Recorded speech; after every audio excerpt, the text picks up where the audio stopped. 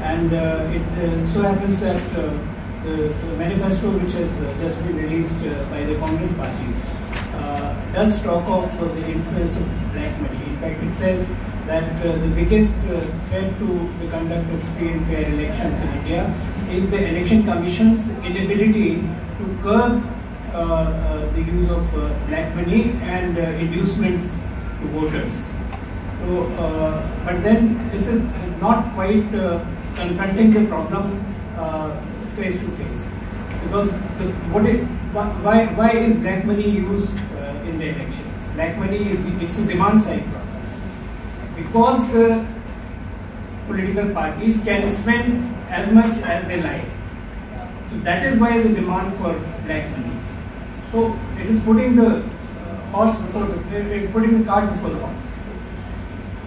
So that is the problem. Can I Thank you.